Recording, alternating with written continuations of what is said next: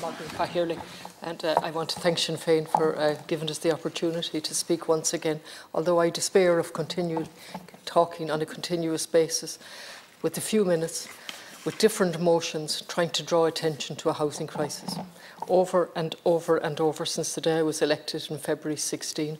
And we have a minister who thinks it's a debating competition and scoring points across the floor at Sinn Féin in, in a manner that's not befitting to the Dáil in where we have a housing crisis.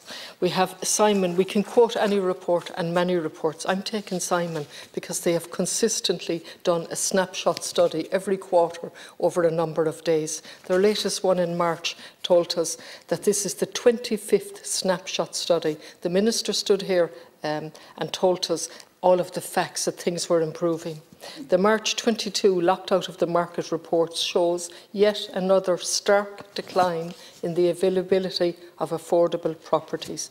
And it goes on to mention in particular the end of the COVID-enforced rental restrictions having a particular bearing. The private rental market is affected by the ongoing contraction in supply, the increase in rental prices and an overall lack of affordability there was a strong decrease in the number of properties available to rent within the standard or discretionary HAP rates, and it goes on. And then we look at Galway City and Galway County. In Galway City, there was absolutely, there were seven properties available for rent. Not a single one of them came under the HAP criteria. There were no properties affordable under the standard or the discretionary HAP rate for any of the households examined. There was only one bedroom of property available to rent during the study period at 1,430 a month, a one bedroom property. Rents ranged for three bedrooms from 2,440 to 2,875. I wish I had more time to repeat the figures because they're absolutely stark, stark and they make a mockery of what the Minister has told us. Rents in Galway County rose at an extraordinary rate of 19%. That was up 122.9% from the trough. In Galway City, we rose by 8.8%, while might seem a little smaller, but it was 115 115.5% from the trough. Homelessness has increased in Galway we have 280 adults in official homeless emergency accommodation, and we know the figure nationally is once again approaching 10,000.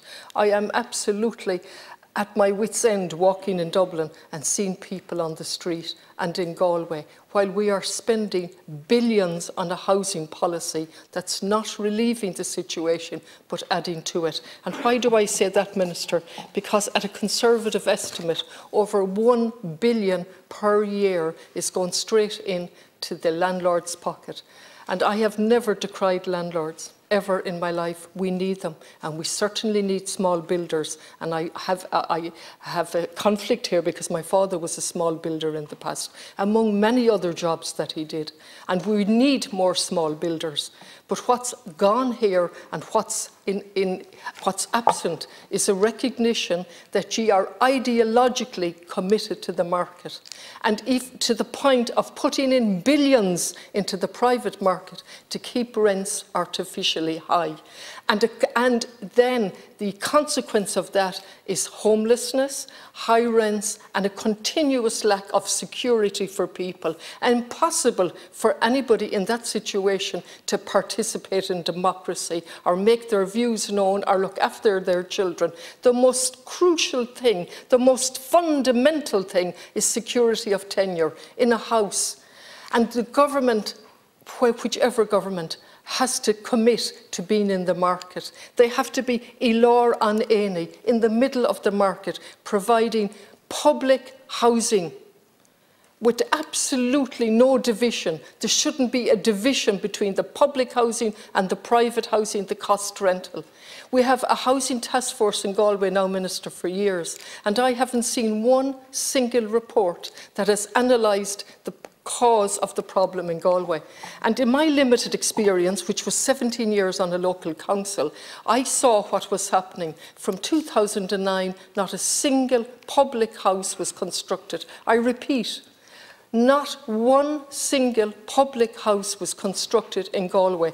All of the eggs went into the basket of HAP. And indeed, we were told in very plain English that was the only game in town.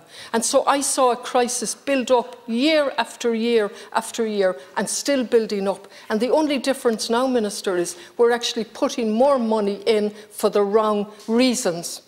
Now, I would like to know where is the audit from the Land Development Agency. They were set up on a non-statutory basis prior to the legislation, and one of their first tasks was to give us uh, an audit of all the public land available. And in my last 30 seconds, I'm once again going to highlight that Galway City, one of the five cities destined to grow and increase its population by 50%, has no plan for the common good. We have developers developing Ceannt Station. We have developers developing the docks with the view to selling off property. And then we have other various ones by the university and no overall plan. Cahir, look, I won't make your job difficult. Kermagat.